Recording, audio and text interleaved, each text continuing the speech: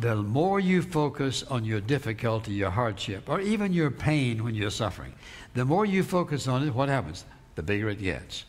Well, I've, you know, I've, I've been going through this, and I've been going through that. And if your friends listen to you and say, Oh, I'm so sorry, I feel so sorry for you, the more pity they give you, the bigger it gets, and the bigger it gets, the more you doubt God. And so the issue is focus.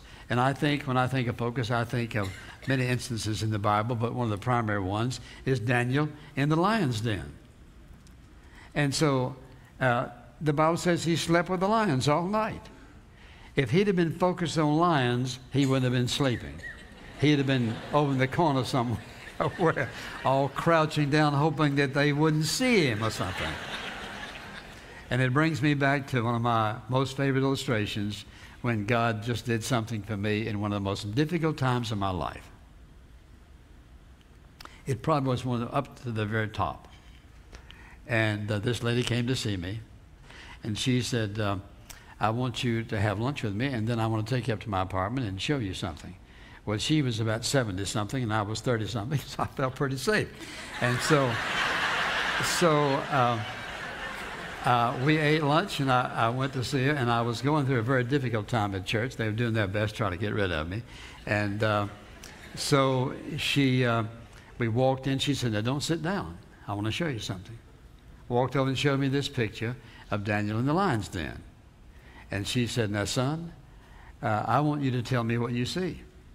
So I said, Well, and I can still remember looking at that picture. I see this lion over here looking up, and this one looking down, and see the bones. And so I thought of everything this little lady could possibly have thought about. And I said, She said, Do you see anything else? I said, No. She said, if you'll notice, and, and the picture had all these lines, and Daniel had his hands behind him. He's looking at this ray of light. She said, What I want you to see is Daniel doesn't have his eyes on the lions, but on God. It was like God hugged me that day.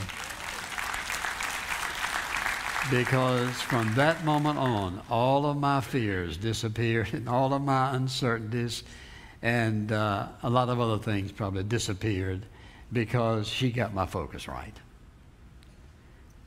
When you focus on the trouble and the heartache and the burden and the pain, it gets bigger and we feel less confident, less significant, and overwhelmed. Because remember this Daniel was looking at omnipotence, who created the lions. He could shut the lion's mouth, he could have killed every one of them in a second. He just let them hang around while Daniel went to sleep that night. And before he probably went to sleep, and when he woke up, he went up and looked up and just reminding of God that he was where he was because he had obeyed God and God delivered him. God always operates on the basis of principles, not on the basis of feelings and how we feel, and so on principles. For example, the simplest one is we reap what we sow more than we sow later than we sow. God always operates. He doesn't ever change that. And so, uh, for example, one of those principles is obey God, leave all the consequences to Him. That means I'm going to do what He says, I'm going to let Him take care of the consequences. God always acts. For example, He says one of those principles is that God acts in behalf of those who wait for Him. And so, if I'm going to act on the basis of principle, then I know I'm going to be heading in the right direction doing the right thing because God operates on principles. And that's the reason you and I can learn how to relate to Him because if I don't understand His ways, then I'm going to say, God, what are you up to? Well, He's just up to doing and being who He says He is. And so you could come up with most any problem, and I believe, give me a little time, and I could come up with a principle to say, if you'll obey this principle, watch what happens. Because God wants us to obey Him.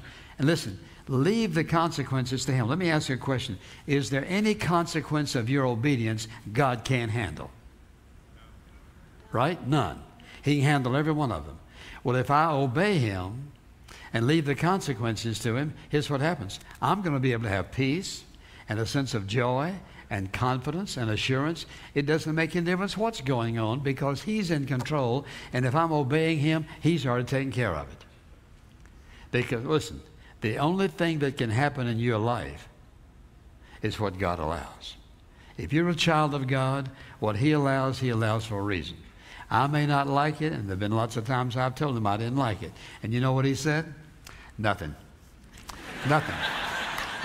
he just let me hammer away with it and, and, deal with it until I finally said, God, I know you're right. I don't like this. I know you're right because that's what your word says.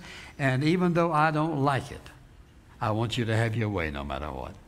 When you're living with guilt in your life, or you're living with sin in your life, you, you're going to have a very difficult time trusting God because sin short circuits the power of God in a person's life.